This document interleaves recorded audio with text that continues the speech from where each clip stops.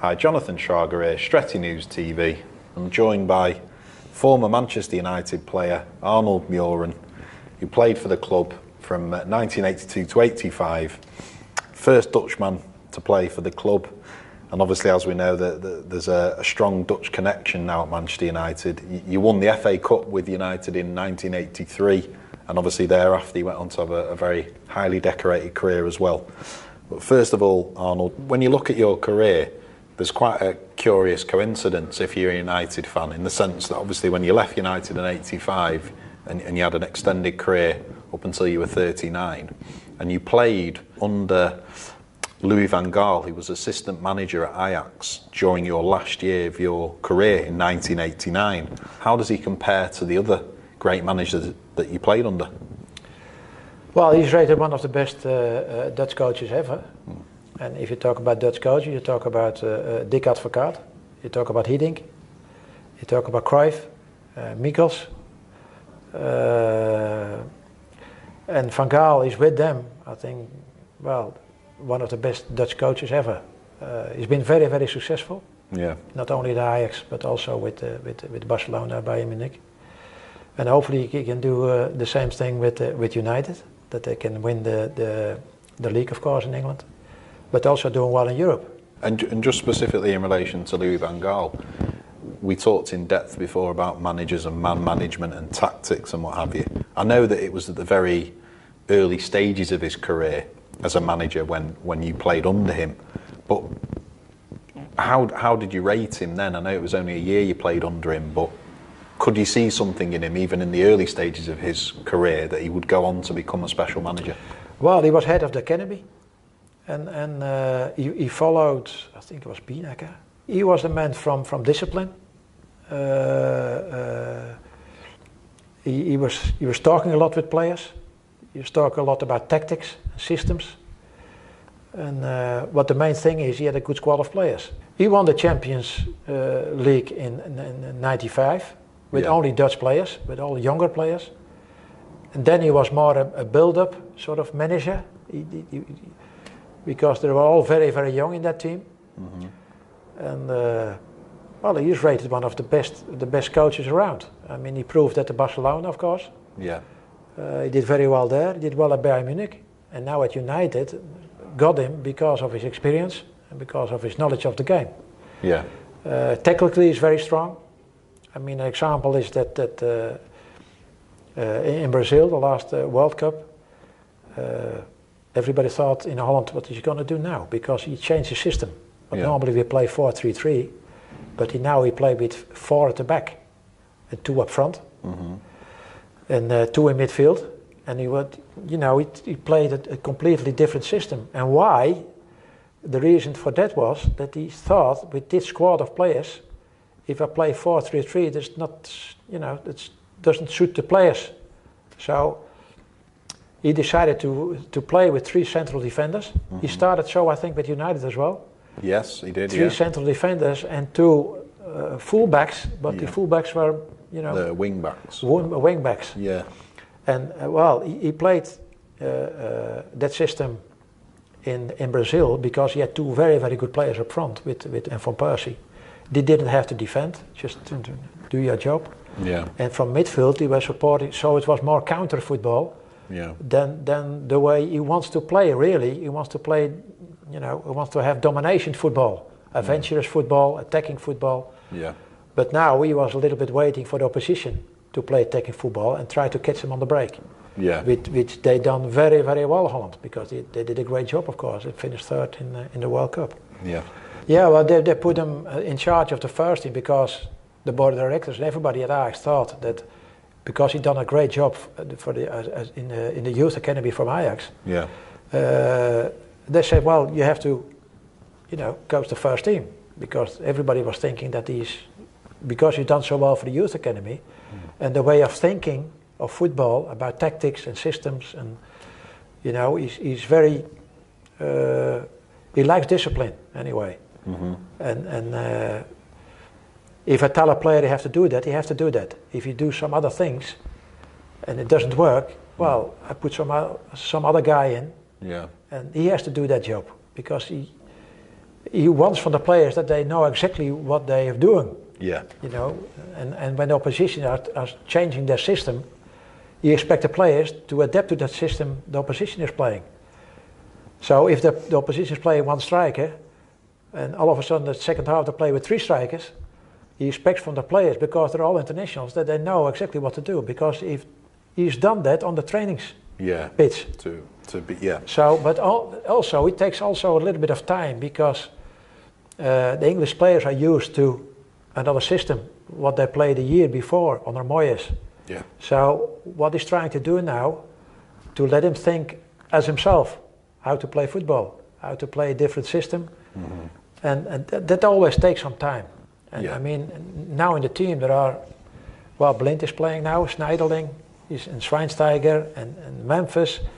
I mean, if there are new players coming new into the team, then he has to explain again to the yeah. to the new players how he wants to play. Yeah. And uh, because he's done it before with the other big clubs as well.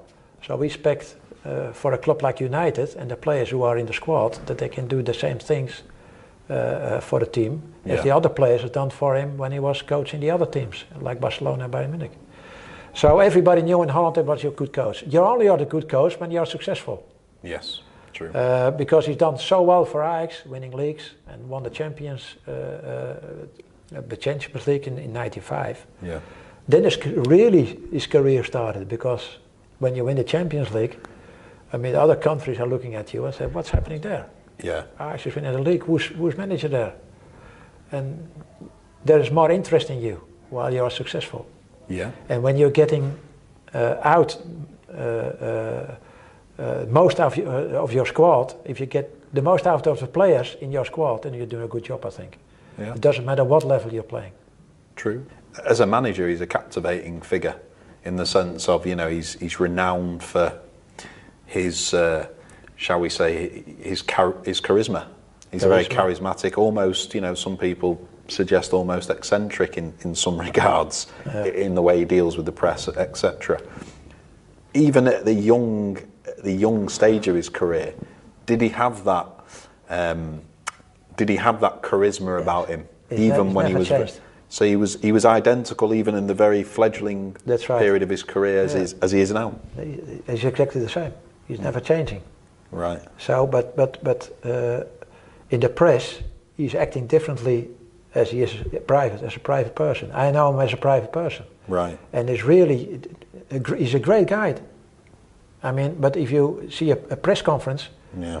and somebody asking the wrong question, I say, "Are you stupid or so?" or what? what? That's that's too, maybe it's a little bit of an act, if you know what I mean. Yeah. But he's not. Well, he's, he's, he is he is so. He, he's the way he's acting, you know, as, as a person, and he's really, as you say, he's, he's got his own character, his own mind of, you know, uh, uh, doing things. Yeah. But there's nothing wrong with that. Mourinho is the same. Yeah. I mean, the Mourinho we know, but every every player loves him. Yeah. The players is, is, is, who was working under Mourinho, they said, well, he's the best manager I've ever worked with, Yeah. and he's he's he's not only technical very good, but he's you know he's helping people, he's talking with people, and he's His man management. yes, he's a man management. But uh, if you see him from for television, you think, well, he's he's big-headed. He, d- Do normal, act, act normally, because you're a manager from Chelsea. Don't don't act like that. Yeah. But that, that's that's the way he is. I mean, and, and, and you should respect that the way he is. I mean, if if if if Van Gaal is is changing completely now, he's not Van Gaal anymore. Yeah. But you, so you're saying he was always like that, even He was always like that. 1989 when you played for him that year. He, Yeah. he was the same. He was- even before the success, he Oh, was yes. larger than life character. Oh yes, he was charisma and he's, he's a personality and he's, he's But, but maybe slightly less uh, abrasive behind closed doors. He's a little bit more understated when Yes. not in front of the press. That's right. Well, in private, he's, he's, he's completely different than he is, you know, when he has press conference or he's, Yeah. you know, talking for television and he's, he doesn't agree most of the time with, with, the- with, the, with the questions the, the press is asking, asking him. But that's for Gaal who know. He did the same in Barcelona, he did the same in Munich. Yes. And you, you, you're going to love him if you hate him. yeah. You know, but I know him as a person, as a manager. I think he's a great guy. Yeah. And everybody is, is cynical sometimes because he's his English is not that good at the moment. Mm-hmm. So if, sometimes when he's saying something, then they show it on Dutch television again, and they're laughing a little bit about it. So they're a little bit, you know, it's, it's cynical sort of thing. But but that, that's, What that's the pe- way he is. But he just don't care. He's just doing his own. Yeah. He's got his own mind, and he's, he's, he speaks his mind. What the, the, when he said that the Dutch people will be laughing, are they laughing at the fact that maybe he's not? It's not quite translating That- how, that- that's how he's yeah, how he's wanting to intending for something to be said. That's right. yeah, right, yeah. I'm with you. But, uh, he that- can't quite express himself fully in English. That's right. But, but that, will come. He's, he's doing better as, than in the beginning. And Yeah. it was the same in Barcelona, in Munich. The same when he started that way. And what's he talking about? And some people didn't understand him. And he told some Dutch jokes that didn't, you know, nobody, nobody understood instead that.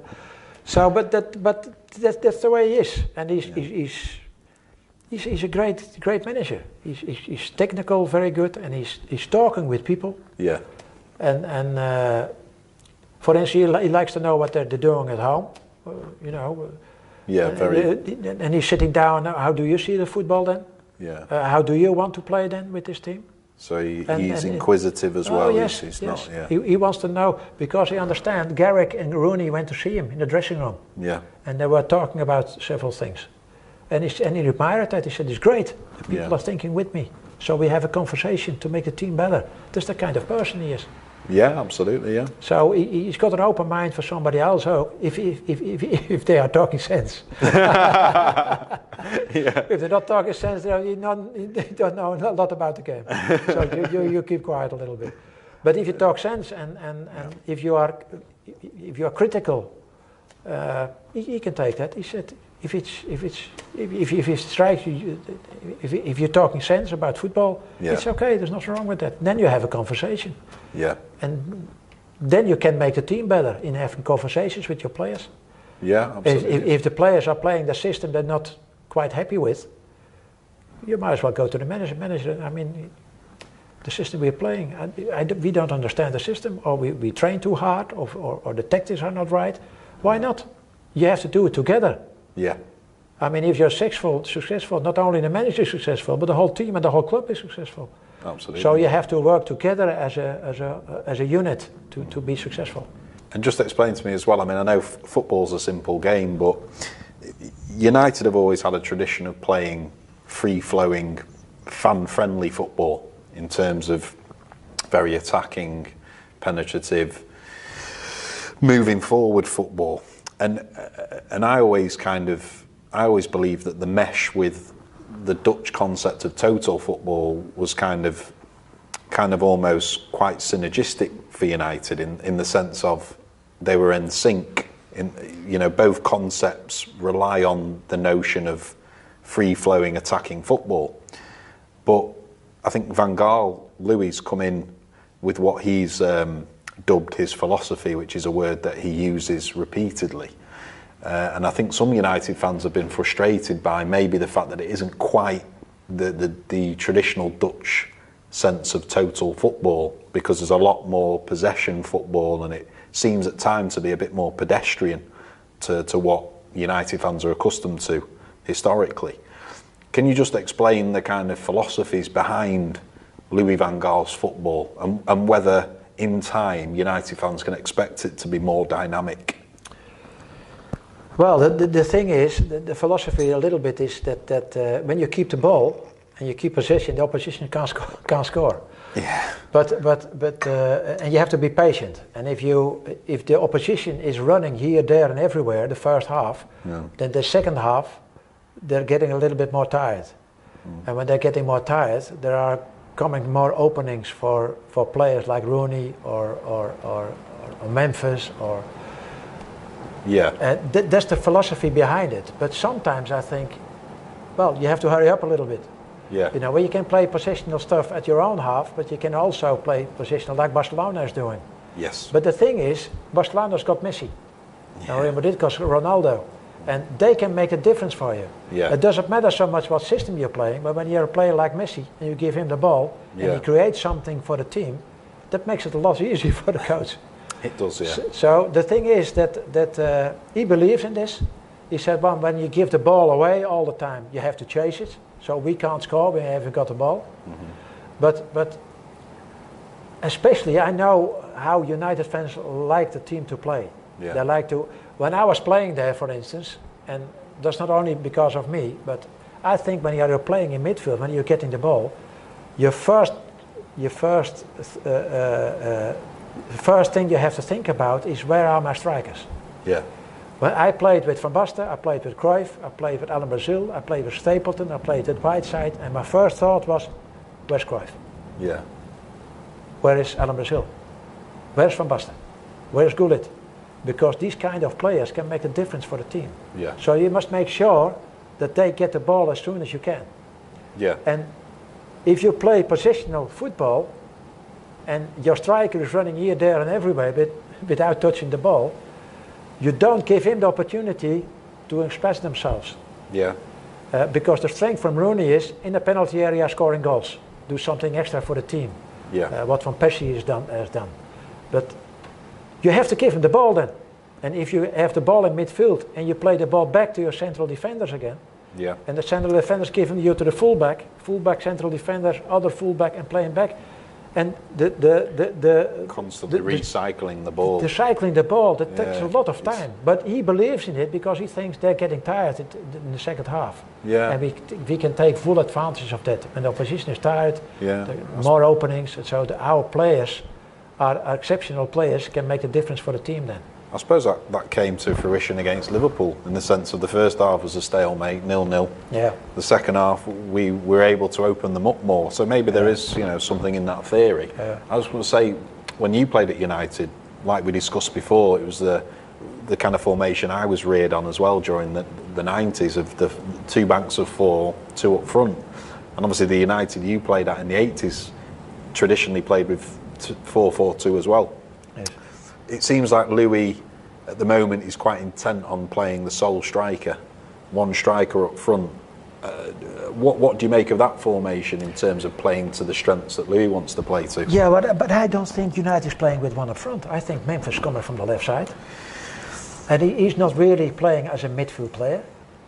Yeah, I mean the play in terms of a formation, it's a four, two in front of the back four, and then in theory three in front of those two, and then one up front, kind of like a well, that- Christmas that- tree. Yeah, sort yeah, I know, I know what you mean. It's like it's like a pyramid. Yeah, like, like, this. a, yeah, But the, the thing is, the, on paper maybe is that, but but it, depends a lot on how the team is, uh, uh, uh, how the team is performing.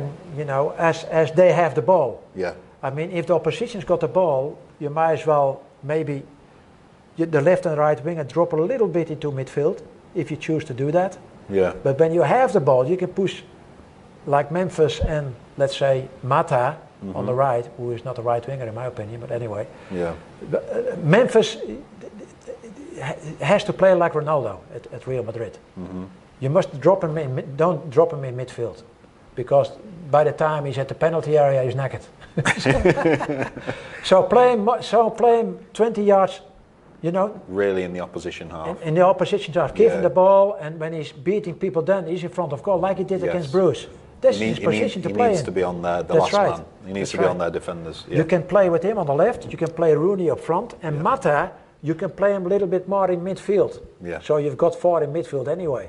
yeah, So, but when you play Mata on the right and he's dropping in midfield, then you give the opportunity to Dar- Darmian, what's his, the right Yeah, fullback, yeah. to overlap and, and an extra attacker from that side. Depends how you fill it in. yeah, It, it, it doesn't matter so much how it is on paper. It, it, it, it, the most important thing, what are you doing while you have the ball? It doesn't mean to say that you, when Rooney is playing up front, yeah, then when he's dropping, I mean, Fellaini has come come front. It depends what you do, and it's changing a lot yeah. with, with the players in certain positions.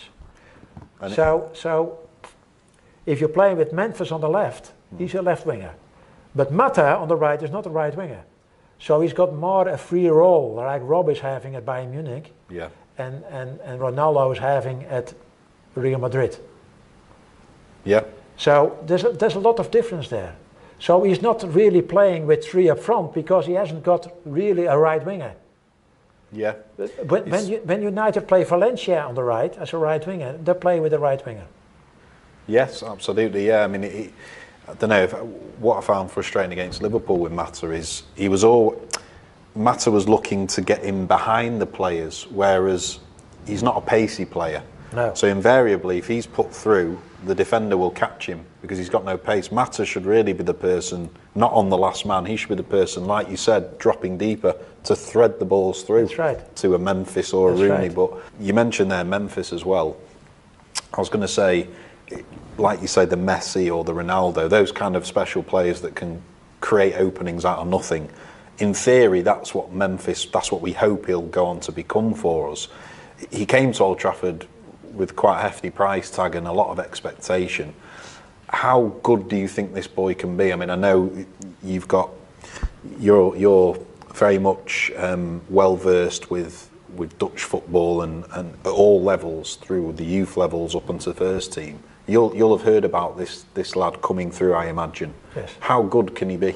Well, he is, he is uh, a a proven goal scorer. He's got a lot of goals for PSV Eindhoven. He made a difference for PSV last year. But having said that, I mean, the Dutch league is completely different than the English league. Eh? It, it, it's, it's two different worlds, sort of thing. Because PSV won so many games very easily. There's no easy game in, in England. Yeah. If you play Leicester, if you play Bournemouth, away from home, you have you have to give it all with the whole squad as players. Otherwise, you don't win the game. So he, he, he, he- he proved he's been a good player. He did okay, not great for the Dutch national team. I think he started well for United, but you see a lot of younger players who are coming through who are doing very well in the beginning. But after a while, you see them to, you see dropping a little bit. Uh, it's got something to do with the pace of the game, maybe. It's Got something to do with how many balls you're getting during the game. Uh, depends on how you play yourself. Uh, uh, he's a player who can beat people, he can score goals. Yeah. But th- in my opinion, the last three, four weeks, he lost it a little bit.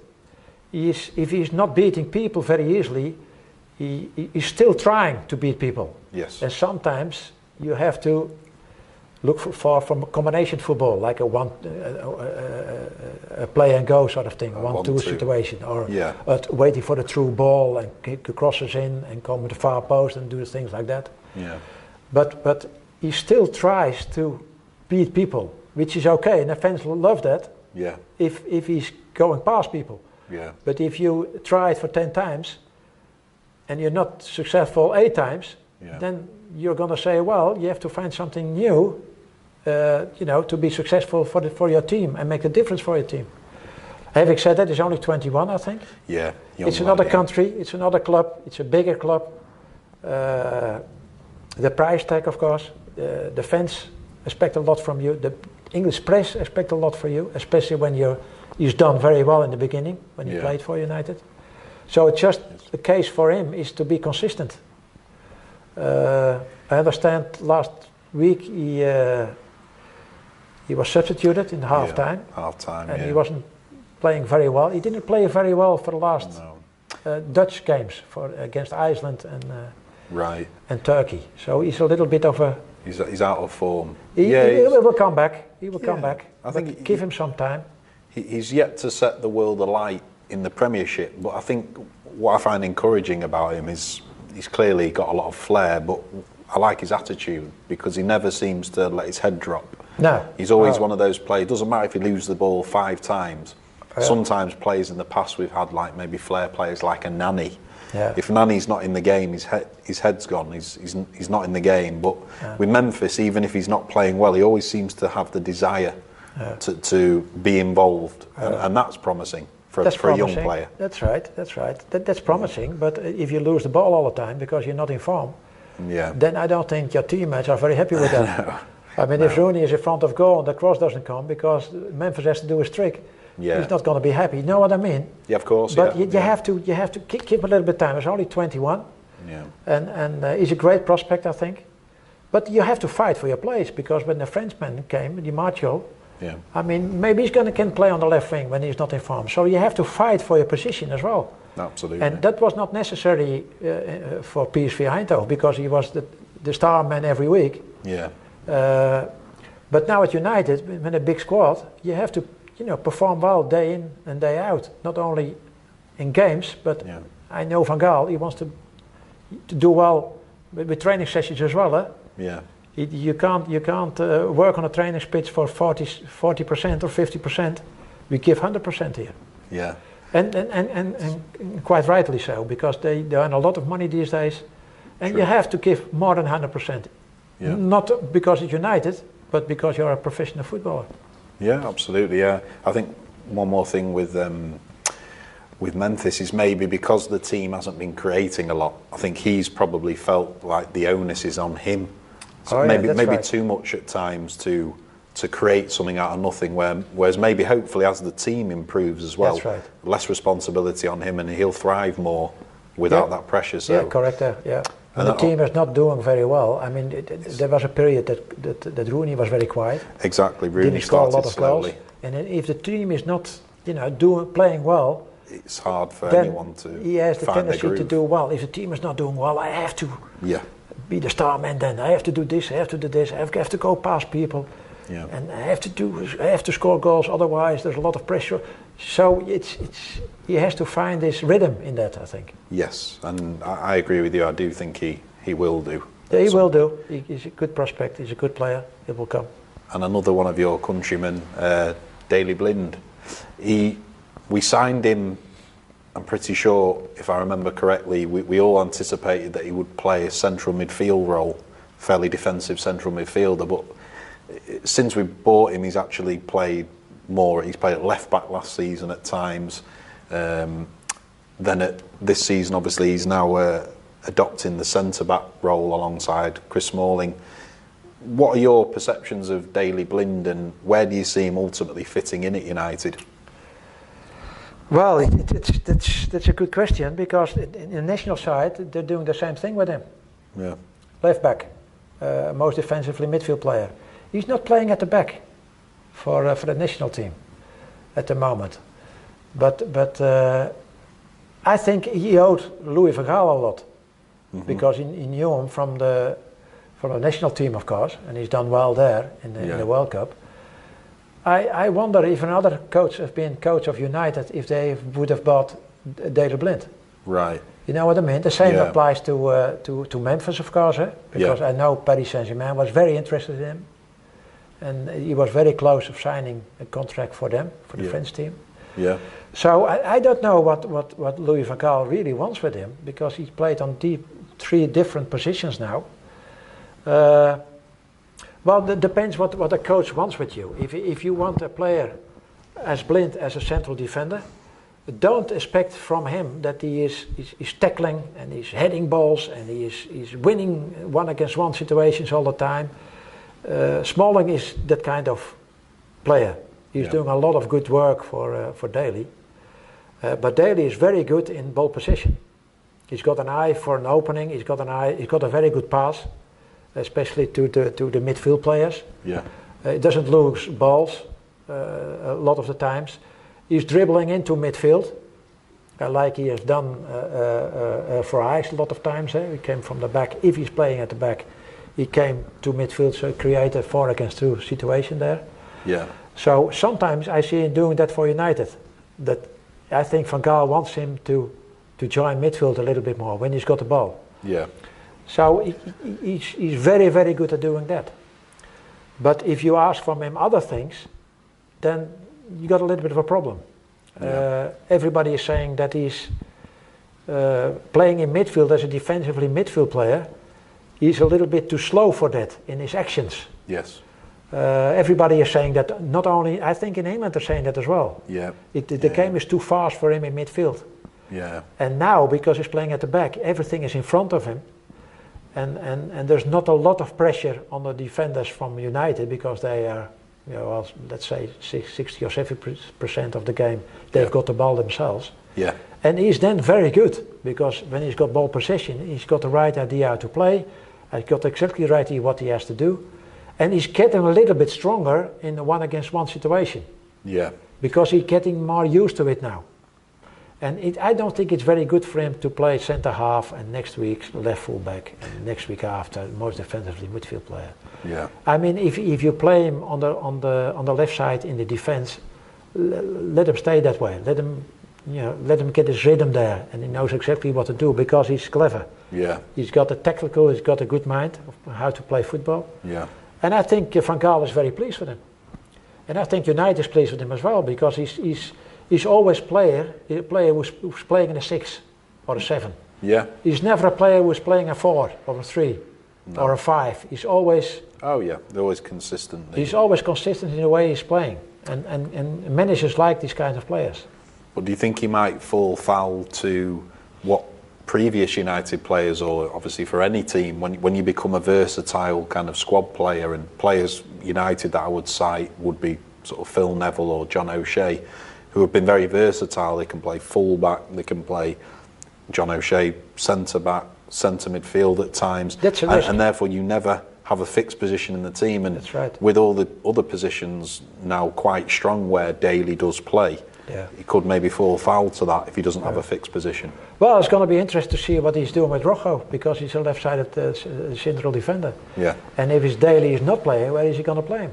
Because Schneiderlin is there, Carrick is there, and Schweinsteiger. Schweinsteiger is there. And They can play Luke there. Shaw's brilliant at left back at the moment, so it's going to be difficult. So it's difficult, but you need a big squad. Yeah. And the way United is playing now and the way his, his Daley is performing, I, I think uh, there's no reason to change anything.